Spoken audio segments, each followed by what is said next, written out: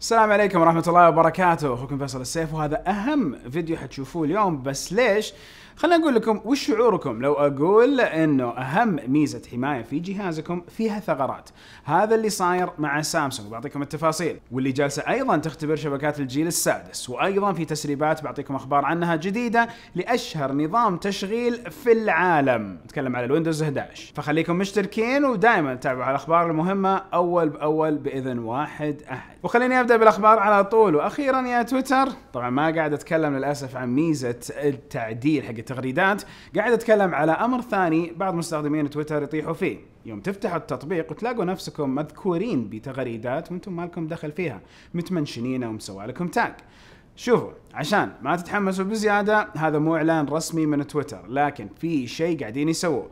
هي فكرة أو اقتراح عرضها مصمم الخصوصية في تويتر على حسابه في تويتر.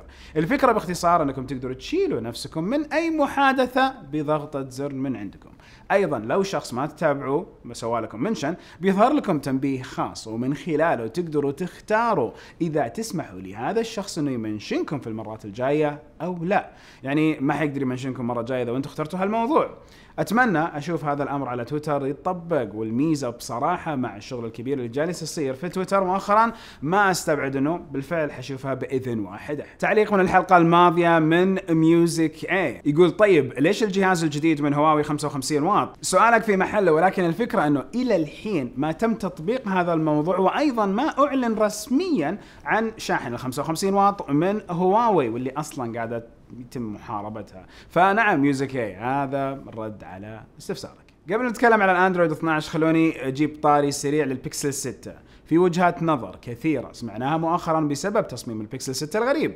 لكن الأغرب من تصميم البكسل 6 هو تصميم أغطيته صدامات مدرعة.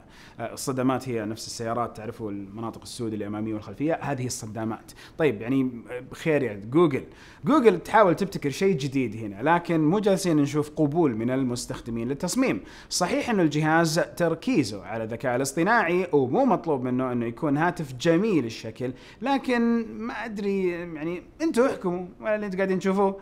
وهنا سؤال لكم متابعين. هل راح تفكروا أنكم تقتنوا هذا الجهاز؟ يعني كمستخدمين أندرويد وين تحصلوا نظام أفضل من الشركة الأم نفسها. أو تفضلوا لمسات سامسونج وبقية الشركات على الأندرويد والواجهات اللي يحطوها. أعطوني رأيكم في التعليقات. جوجل أعلنت عن ست مزايا رسمية مؤكدة لنظام الأندرويد 12 بعطيكم إياها بكل اختصار. اولا عندنا نظام تنبيه من الزلازل. بالتأكيد بيستفيد منه سكان المناطق اللي تتضرر من الزلازل. الله يحفظنا ويحفظكم يا رب العالمين. هي الآن تعمل في دول قليلة والقائمة حتزيد مع الوقت بحكم الدعم. مو بحكم إنه الدول الثانية يجيها زلازل لا قدر الله ما أتكلم كذا. ثانيا حتصيروا تقدروا تضيفوا نجمة لأي رسالة تجيكم في تطبيق الرسائل بحيث إنه يسهل عليكم إنكم توصلوا لها لاحقا. نفس الفكرة اللي نسويها مع رسائل واتساب وهنا حنقدر إن نصنف الرسائل اللي عليها نجمة حسب مزاجنا. ثالثا تم تطوير مطبخ الإيموجيز واللي كنا شفناه من فترة واللي يسمح لكم إنكم تدمجوا اثنين إيموجيز سوا. الحين الميزة هذه من خلال لوحة مفاتيح جوجل ممكنة. بتصير تعتمد على الذكاء الاصطناعي بحيث تقترح لكم ايموجيز ماشية مع سياق كلامكم وممكن أيضا تكون مدموجة مع ايموجيز ثانية. عارفين يا جماعة إنه لوحة المفاتيح اللي في الآيفون لما تكتب كلمة تعطيك اقتراح وجه لهذه الكلمة. ما أدري عاد سالفة دمج الايموجيز شلون تصير يمكن سلحفاه عليها قلوب لو نحط الاثنين مع بعض ما أدري إيش يصير. رابعا يمديكم تطلبوا من مساعد جوجل إنه يأخذكم لأماكن محددة داخل تطبيقات محددة، مثلا انكم تطلبوا من مساعد جوجل إنه يوديكم لصفحة منتج معين في تطبيق أمازون أو eBay، وإذا تبون تعرفوا قوة هذه الميزة طبعا بعد ما تتوفر لكم اطلبوا مساعد جوجل وأعطوه الأمر shortcuts اللي هي اختصارات. ف shortcuts ما نعرف للحين كم تطبيق بيدعم هذه الميزة وبصراحة ما أتوقع انه الكل بيسمح لمساعد جوجل إنه يوصل لكل المعلومات ولا يعني إيش رأيكم؟ تتيحون الموضوع من باب تسهيل الأمر عليكم أو لا؟ المهم خامسا تعديلات على Android Auto نفس نظام حق السيارة. أنتم تقدروا أنكم تعدلوا شاشة البداية بتطبيقات أنكم تختاروها. أيضا معلومات مثل أماكن شحن السيارة الكهربائية والمواقف وغيرها من Android Auto مباشرة بدل ما تشوفوا هالمعلومات على الجوال. طبعا كله يعتمد على دعم Android Auto في منطقتكم. إحنا عندنا لازم حساب أمريكي عشان Android Auto يشتغل بشكل كامل. وأخيرا ميزة ال Voice Access الوصول بالصوت. تحسنت بشكل كبير وصارت تتعرف على أوامر صوتية أكثر تعقيدا من العادة. الميزة هذه حتساعد كثير أحبتنا ذوي الاحتياجات الخاصة واللي ممكن يكون الصوت هو الطريقة الأنسب لهم في التحكم في جوالاتهم. في عام 2015 ولما نزلت مايكروسوفت نظام الويندوز 10 قالوا إنه هذا النظام هو خلاص آخر شيء. والسنوات القادمة بيكون فقط في تحديثات. الأمر هذا مشينا عليه. طبعا كلنا كنا نعرف إنه مستحيل خلاص يكون في نظام واحد ولكن تأملنا هالأمر كون إنهم هم قالوه لازم يجي يوم ونشوف تطوير يواكب السوق. والحين وبعد سبع سنوات تقريبا واللي فعليا ما هي بشوي بدأ تظهر تسريبات لويندوز 11 أول شيء ليش مايكروسوفت؟ يعني من جد يا مايكروسوفت تمنينا إنه خلاص نظام واحد وانتهى. في تغييرات كثيرة مع التسريبات اللي طلعت. واضح على النظام صعب إنه نشرحها كذا بكل بساطة من خلال التسريبات والصور.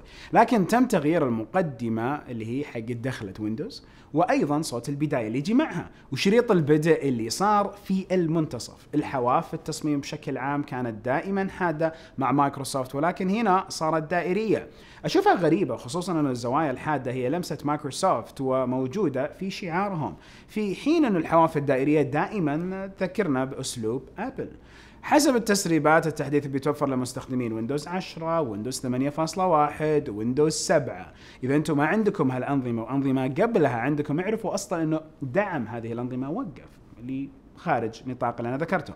والمتوقع إنه إذا الويندوز حقكم 8 لازم ترقوا له 8.1 بعدين بيحصل على ترقية الويندوز 11 وأكيد حتسألوا إذا هذا الأمر مجاني. طبعا ننتظر من مايكروسوفت الإعلان الرسمي ومن ثم بنعرف هل هو مجاني متى بيتوفر ليش سووا شيء يكسر القواعد الأساسية حقتهم. والله يعين يا رب. تلميحة جميلة للكل. كثيرين من المستخدمين دائما يسألوني وش أفضل سماعة من نوعية ال pods في السوق؟ لكن لازم أوضح أنه أول نقطة في الموضوع هي مو وش أفضل سماعة لكن وش نوع جوالكم الأساسي؟ لأنه هذا النوع من السماعات يجي بتقنيات كثيرة تعتمد على البرمجيات أكثر من العتاد نفسه. فلما تأخذوا سماعة من شركة وتشبكوها مع جوال من شركة ثانية راح تفقدوا الكثير من المزايا. عشان كذا أنا دائما أنصح أي شخص يبي يشتري سماعة من هذا النوع إنه ياخذ من نفس الشركة. فلو قلنا معاكم أحد أحدث جوالات جالكسي وتبون سماعة مثل كذا بقول لكم تعالوا شوفوا كل سماعات ال pods اللي صنعتها سامسونج مؤخرا. لا تروحوا لشركة ابل أو هواوي أو غيرها وهالكلام ينطبق على كل الشركات. ليش؟ لأنه سماعات ال Galaxy Buds وإخوانها من سامسونج مع هاتف جالكسي بتعطيكم أفضل أداء ممكن. نفس الشيء مع الآيفونات وال AirPods وجوالات هواوي مع ال FreeBuds وأكيد أستثني السماعات اللي من شركات طرف ثالث مثل Bose أو Sennheiser أو سوني هذول متخصصين صوتيات. ما عندهم جوالات. كان عند سوني والله يرحمه. الله يرحمه عندنا بس مو كله عندنا عندنا المنطقة الله يرحمه بس ترى موجود ويطلق Xperia وغيرهم أكيد ما ينطبق عليه نفس المثال إذا كانوا أصلا شركات تصنيع صوتيات لأنه هذول يشتغلوا على كل الأجهزة بنفس المستوى لأن تركيزهم غالبا على العتاد أكثر من البرمجيات. لكن لو تبوا الأمر المضمون خذوا سماعة من نفس شركة الجوال وكذا ريحتوا نفسكم وأخذتوا خصائص جدا عالية. في الفيديو اللي راجعت فيه الباب الذكي جانا تعليق من عبد الله مسلم يقول طيب وإذا خلصت البطاريات وش أسوي؟ طبعا تفاصيل الباب في الفيديو بحط لكم رابطه في الوصف ولكن عودة لسؤالك يا عبد الله وبكل بساطة في طريقة ميكانيكية لفتح الباب بمفتاح خاص وأيضا ترى الموضوع حيجيك تنبيهات مزعجة قبل تقريبا شهر حسب الأمر اللي إحنا متوقعينه من انه البطارية تخلص. فإن شاء الله أموركم مرة رايقة. في أجهزة الأندرويد اللي مو خام يعني مو من نفس جوجل في العادة نشوف تطبيقات متكررة يعني تطبيق معرض صور رسمي من جوجل وبنفس الوقت تطبيق معرض صور من نفس مصنع الجوال زي مثلا سامسونج وهواوي وغيرهم. في أوقات كثير يصير تشتت عند المستخدم بين هذه التطبيقات. ولكن خلال السنوات الماضية بدينا نشوف بعض الشركات تقلل من هذه التطبيقات وتعتمد على تطبيقات جوجل. وبصراحة ممكن يكون هذا الأمر مرة منطقي. طيب سؤال. قد جاء ببالكم انه الشركات لما تضيف تطبيقاتهم الخاصة إلى جانب تطبيقات جوجل ممكن هذا الأمر يؤدي لثغرة كبيرة يستفيد منها مخترقين الأجهزة والهاكرز لاختراق أجهزتكم وهذا الأمر اللي بتكلم عليه وتم ذكره في أحد التقارير الخاصة بالحماية. بالتحديد هنا أتكلم عن شركة سامسونج اللي تقدم تطبيق رسائل، أيضا تطبيق أرقام هواتف وتطبيق استوديو وتقويم وكم تطبيق إضافي. التقرير يقول إنه تطبيقات سامسونج فيها ما لا يقل عن سبع ثغرات خطيرة. اسمعوا الصدمة. أغلب الثغرات هذه موجودة في ملف نوكس حق الحماية حسب التطبيق. نوكس هذا نظام حماية وتشفير ملفات موجود على أجهزة سامسونج ويستخدم في حماية الملفات بشكل متقدم هناك. وبعدها في ميزة موجودة بهواتف سامسونج اللي هي ميزة ال DeX اللي هي نفس الجوال توصلوا على شاشة فيصير شبه الكمبيوتر. فعندنا هنا أيضا مشكلة. وبقية الثغرات موزعة بين تطبيقات سامسونج الأخرى اللي تقلد تطبيقات جوجل الأساسية أو تعطي مهام أو مزايا زيها. الثغرات بتساعد المخترقين أو الهاكرز أنهم يوصلوا لرسائل ال SMS، الرسائل النصيه. هذا الأمر خطير جدا اللي يستخدمون التوثيق الثنائي وفي مجال بعد أنهم يوصلون لأبعد من الرسائل حقت ال SMS. عشان نكون حقانيين، طبيعي جدا كل يوم نسمع إنه تطبيقات يكون فيها ثغرات، لكن اللي يخوف الموضوع هنا ان الثغرات موجودة في النوكس تطبيق الحماية اللي ممكن يكون أقرب شيء لقلب النظام نفسه. وفي الغالب في أهم ملفاتكم السرية. نتمنى من سامسونج أنه تتحرك بسرعة وتعطينا أصلا ردة فعلهم على هالأمر وعلى هالثغرات وأكيد أعطيكم الخبر وأعلمكم أول بأول وش يصير.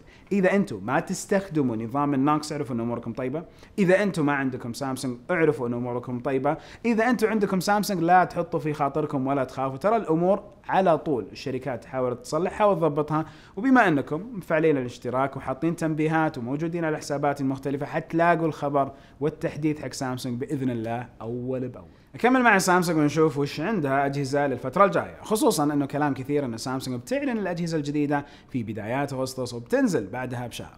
طيب إيش هي الأجهزة بالضبط؟ نتكلم عن ال Galaxy Fold 3 وال Flip 3 أو Flip 2 لو أخذناه بشكل منطقي. أيضا توقعات إننا نشوف ال Galaxy Buds 2 Galaxy Watch 4 و Galaxy Watch Active 4 والأخيرتين بيكونوا مثيرين للاهتمام خصوصا إنه سامسونج اعلنوا إنهم بيتركوا نظام ال Tizen حقهم ويروحوا على طول لأندرويد ونظام ال Google Wear الخاص بالساعات. حقت الاندرويد وما ندري إذا في تأكيد أو ما في تأكيد لل FE حق عام 21 لأنه في تقارير تقول إنه عندهم نقص في أشباه الموصلات وفي تقرير ثاني إنه يقولوا في لا في تاريخ جاي لل FE فما ندري. وموعد الإطلاق لكل هذه الأجهزة مو واضح مع إننا نعرف إنه سامسونج ودها إنهم كلهم ينزلوا في فترة جدا قريبة وعارفين إنه شهر أغسطس هو الشهر الأقرب لسامسونج اللي من خلاله إن شاء الله يكون في لهم مؤتمر.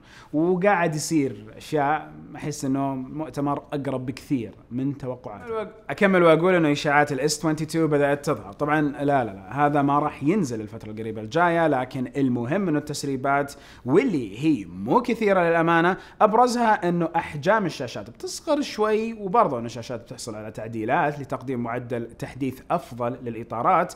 يقال إنه ال Ultra القادم بيجي بشاشه LTPO OLED عشان تحصل على استهلاك أقل للبطارية وبالتالي عمر أفضل للمستخدمين في بطارية الأجهزة. وبرضه المعالج المتوقع بيكون ال Exynos 2200 مع معالج رسومي من AMD وأكيد في نسخة بتجيب معالج Qualcomm وأكيد بنطلع بسواليف مرة ثانية Qualcomm ولا Exynos آخر مرة واللي هي حقت العام 21 ال Exynos تفوق في نواحي عن Qualcomm و Qualcomm تفوق في نواحي. كفة ال Exynos رجحت. هل هالسنة اللي بتفوز سامسونج ب Exynos ها ما ندري. في الوقت اللي كثيرين يشوفون انهم لسه مو محتاجين شبكات الجيل الخامس، سامسونج تعلن انها بدأت بتجارب للجيل السادس بشكل اختباري وتستعمل فيها موجات التيرا هرتز. ما راح أفصل كثير في الموضوع بما إنه لا زال في مرحلة التجارب، واساسا الجيل الخامس لسه يعني قدامه من سنتين إلى ثلاثة أتوقع إلى خمس سنوات عشان الوطن العربي وأيضا العالم يحصل عليه بشكل جدا كويس مع فئات سعرية متوسطة مره و entry level هي فئات الدخول من الجوالات. يعني ب 200 دولار وتجيب لك 5 G كذا صح. المهم إنه الجيل السادس مبدئيا أسرع من الجيل الخامس ب 50 مرة تقريبا. وعشان أعطيكم الحسبة مبسطة. لو عندكم جيل ثالث ثالث لرابع المفروض 10 مرات. رابع لخامس 100 مرة. خامس لسادس 50 مرة. فهنا تقريبا إذا أنت من جيل الثالث للجيل السادس بتأخذ لك نطة وقفزة جدا قوية. نتكلم على 160 مرة أسرع لك موضوع البيانات والتعامل ما بين الشبكة وجوالك.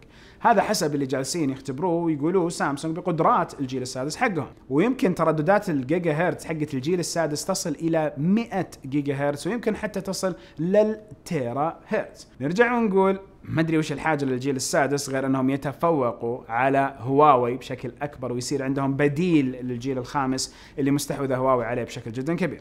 بس أكيد تذكرون لما كنا نسمع إن الجيل الخامس ممكن يكون آخر شيء نشوفه في الشبكات لأنه البشر ما يحتاجوا أسرع من كذا. طيب اللي جالس يصير هذا وشو؟ يعني خصوصا سامسونج اللي كان يقول الجيل الخامس. موضوع احسه مربوط بهواوي. بغض النظر عن سرعة الجيل الخامس ترى أغلبيتكم اللي عايشين على الجيل الرابع هل حتشوفوا أنفسكم محتاجين لهذه السرعة الخارقة؟ أو هل الجيل الرابع بالنسبة لكم بطيء بشكل يخليكم تحتاجوا جيل خامس؟ وهنا أقدر أقول ترى يختلف تطبيق الجيل الرابع من دولة إلى دولة. وأيضا الجيل الخامس من دولة إلى دولة. واكد لكم الكثير من اللي قاعدين يتابعونا في دول مثلا العراق ومصر وبعض الدول الأخرى حقت الشام. نعرف إنهم قاعدين يقولوا الجيل الرابع عندنا مو سريع. ولكن لما جانا مثلا الرابع وجانا الرابع plus اللي هو LTE Advanced عرفنا إنه كان في سرعات مرة أفضل. ففي فرق التطبيق يختلف. ليش؟ ليش؟ لأنه مشغلين الاتصالات والمعايير اللي هم حاطينها من جيل إلى جيل قد تختلف وقد في بعض الدول طلع لكم الجيل الرابع بسرعات جيل ثالث ويقولوا لك هذا الرابع. للأسف ترى الموضوع مو فقط عندنا ترى الموضوع عالمي أيضا في تطبيق نقدر نقول قدرات الهواتف. كل ما زاد التطور اللي موجود في البلد كل ما التطبيق أفضل. ولكن كل ما كان جني الأرباح أهم بالنسبة لشركات الأرباح من إنها توازن ربحها مع كل خدماتها تبدأ المشاكل. كلكم قاعدين تقولوا اي عندنا أعطوني في التعليقات السالفة خلينا يمكن الأسبوع الجاي نتكلم عن تعليقاتكم نطلعها على الشاشة. ونهاية الحلقة وكل حلقة سبحانك اللهم وبحمدك أشهد أن لا إله إلا أنت أستغفرك وأتوب إليك. أشوفكم على خير بإذن الله.